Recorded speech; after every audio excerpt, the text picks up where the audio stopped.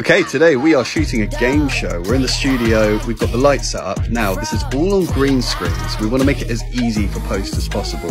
We're shooting on two cameras, we've got two BMPCC 4Ks. We've got a good actor, we've got a good script, we've got a good crew. We think it's going to come out pretty good.